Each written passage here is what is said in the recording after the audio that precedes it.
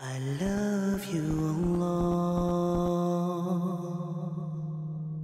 So right after the uh, um, hospital in Gaza got bombarded, there was this uh, there's this brother who told us about his wife from Syria, who that night she cried a lot as we all did, and she made lots of du'a as she was crying, and then she went to sleep that night and she saw Prophet Muhammad. She saw a vision In that dream, she saw Prophet Muhammad in the Al Aqsa, in the plaza sitting in Al Quds, and around him were a lot of people, Muslims, telling them, telling Prophet Muhammad about their pain, uh, their sadness, and Prophet Muhammad kept on listening and smiling.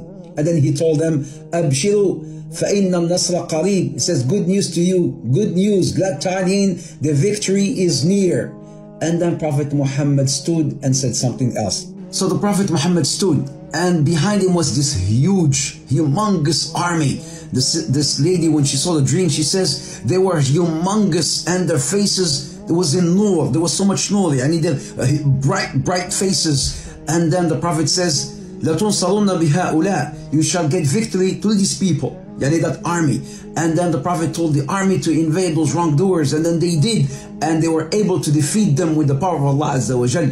And then the woman, she went to Rasulullah and she says, Anta Rasulullah? Are you the Prophet of Allah? The Prophet told her, Rabbi ana Rasulullah. He says, Yes, by my Lord. Yes, by Allah. I am the Prophet of Allah Azza wa Jal. And give glad tidings to the Muslims that the victory is near. Yes, brothers and sisters, without even that dream, Allah Azza wa Jal has already made that promise and his promise is true that victory is near insha'Allah ta'ala. Don't despair from the mercy of Allah